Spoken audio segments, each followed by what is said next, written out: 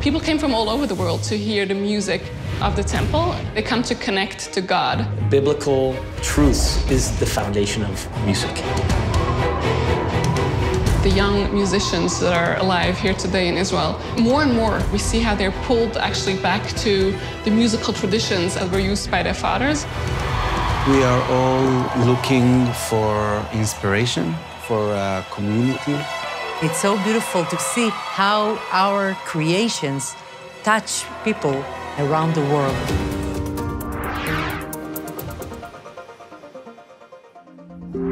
Today we have a unique opportunity to uncover something incredible. Not only the written history, not only what we already know that was passed down through other texts, but also the sound of that worship, the sound of that liturgy. We can connect the historical and unique sounds of the temple through all of Jewish tradition all the way to today. And once again, for the first time in a really long time, hear the sounds, feel the music that thousands of years ago was the music that led our people together again today. What makes Israeli music so unique is the fact that it's so complex from the ethnic perspective. So many parts of the world, so many different types of music all converge in one place. I really like to see it as a, like a mosaic, and you have like all these different pieces and colors from the different countries that Jews came from, and they kind of merge. When was the last time that you and 18,000 of your closest friends got together to sing a song? We want to bring the participants the idea that if they can create a song in less than 45 minutes, they can do everything. And now as loud as you can.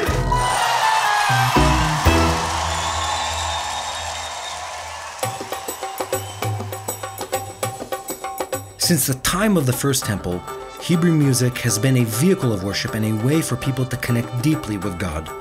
Eventually, the temple was destroyed, and the Jewish people were exiled, taking their melodic prayers with them to the north, the south, the east, and the west. Everywhere they went, they were influenced by the music they encountered there, creating new and eclectic songs to the Lord. Today, the Jewish people are back in their land, and modern Israeli music remains influenced by these diverse styles that we adopted, and by the core value that started it all communion with God. We're heading into downtown Jerusalem to meet with a known expert on ancient Jewish music. And we're having this interview in a very unique place, in a museum in downtown Jerusalem that is dedicated to exactly that. Hey, Nechama. Hi, nice to, see meet you. So we're at the Music Museum, right? Yes, this is the entrance. Let's go in. Yeah. The vision of this place is to really unite people who come here through music. We really take people on the musical journey of the Jewish people. When most people would envision what Jewish music is, it's usually not related to instruments because the holy music doesn't have instruments in it. It's Mhm. more vocal. Uh, it's true that it's mostly singing, but in times of the temple, they actually use musical instruments in the temple, and they accompanied on many occasions and many ceremonies with musical instruments um, as well. Explain, sort of break that down in the sense of what it looked like. How many people were at the temple at the same time? How many musicians? Paint us a picture of, of what that Mhm. felt like. At the temple, it was only the Levites basically who were who worshipped basically with, with the musical instruments.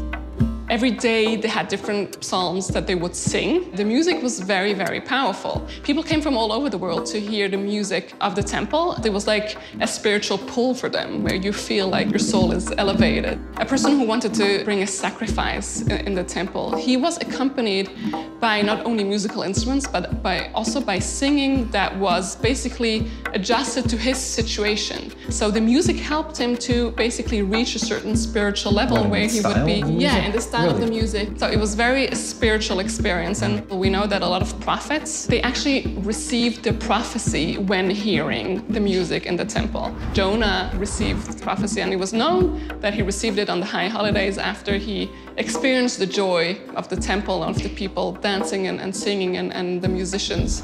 The hundreds of Levites on the Temple Mount, tens of thousands of people singing, chanting, you know, Yeah. banging on the drums together. It's easy to understand why you would want to engage in something like that. Right.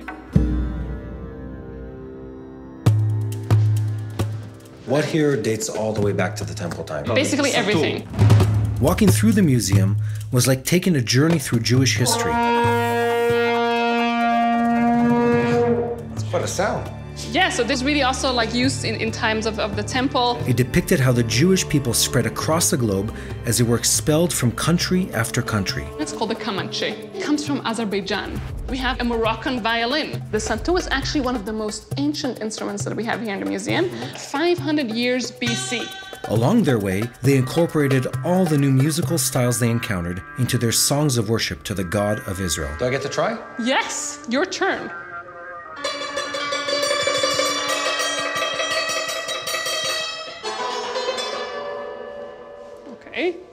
Good, I should stick to my day job. Many Jews eventually settled in countries around Europe. It was there that the more recognizable modern Jewish sounds originated from. this is looking more familiar. Welcome to the European room, basically.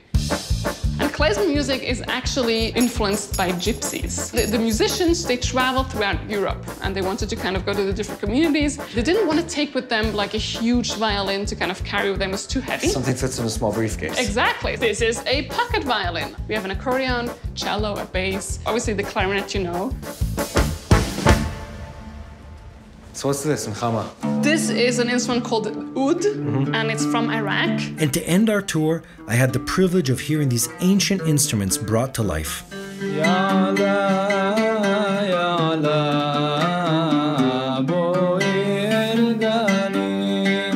content of the song is uh, basically God is speaking to the land of Israel and says, Boi legani, come back to my garden. Beautiful. There's something so peaceful in the music. Yeah. You know, like something about the pitch is just right.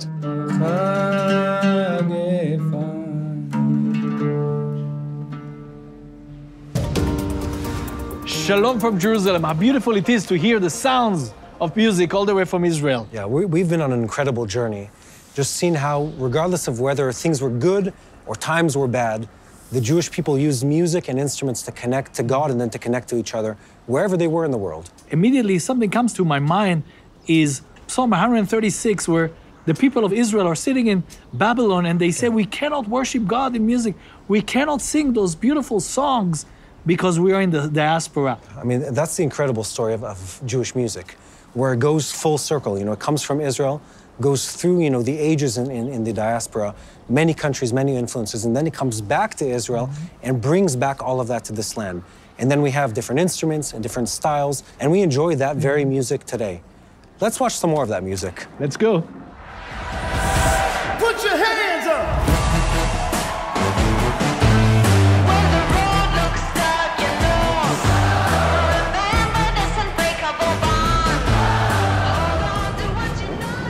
A joint experience of worship, of music, has been part of our heritage and our culture, going all the way back to the first musical references in the Bible.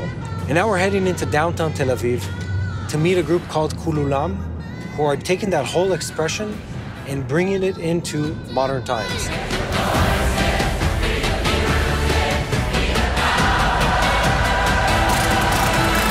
They're connecting groups of people to powerfully experience music together in a group in the same way that we always have through history.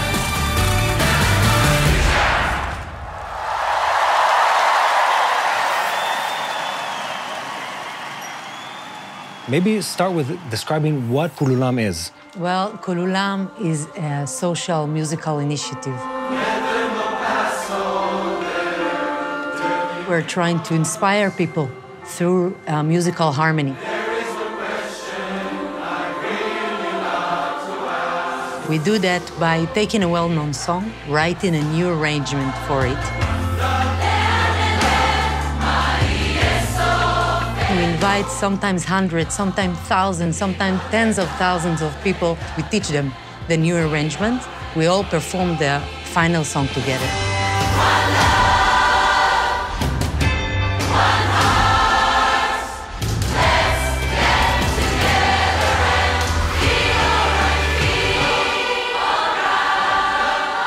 So, how did this whole concept come to life?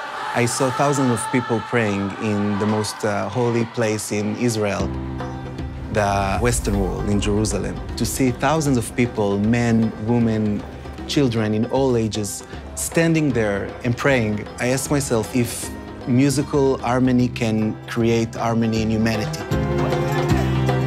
I had the privilege of being at one of the events recently. It's possibly the, one of the most powerful musical experiences I've, I've, I've been part of. You see people go through this stage of they're hesitant, but then they break out of that, they start to sing. There's this really deep connection, and it's very powerful. Here you're coming to be part of something that it's bigger than yourself, part of a new creation. In Koolulam, there is a miracle because so many people coming together and learn a whole new arrangement in half an hour. Generally speaking, it's not possible, and somehow it works. Koolulam films every one of their shows and distributes them online. Their videos have helped them build a large online following, win awards, and impact people throughout the world.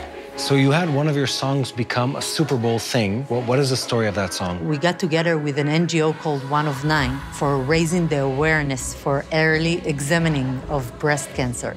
And we invited 2,000 women of different stages of the disease to come and sing with us mm-hmm. Let's Get Loud by Jennifer Lopez.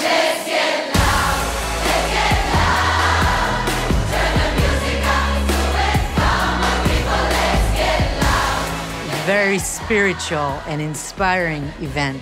And then we got a mail from the musical director of JLo, and she told that JLo really liked our arrangement and she want to take it to one of her shows.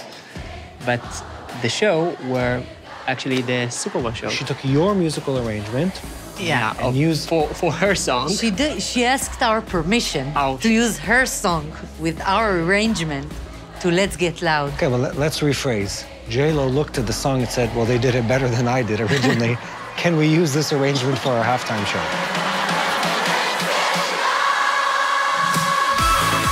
Not only is singing with Koolulam a moving experience, it's also fun. And being the lover of music that I am, there's no way I'm leaving the studio without singing a song with them. Are you ready? It's gonna sound like this. One day, one day, one day, one day, one day. Listen one more time. One day,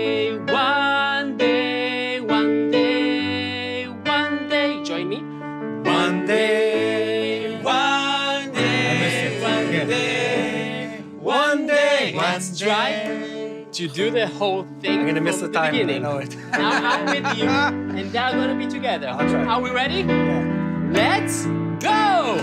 All my life I've been waiting for, I've been praying for, for the people to say that we don't wanna fight no more. There'll be no more wars, and our children will say one day, one day, one day,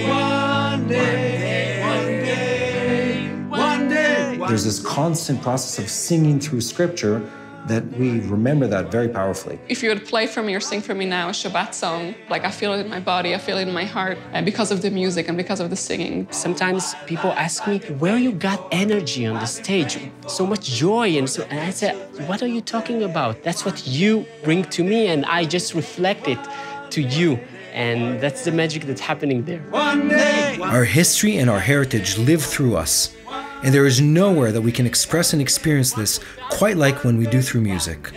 What makes Israeli music so special is that it is soulful, it's spiritual, and it's inspired by Holy Scripture and the incredible power of group prayer. Hey, I'm Mati Shoshani, and thank you for watching the TBN Israel YouTube channel. We hope this video gave you greater understanding of Israel and her people. If you haven't already, subscribe to our channel, and hit the notification bell so you never miss a video. We'd love to hear from you, so be sure to share what you've learned and ask your questions in comments below. And invite your friends to join the conversation.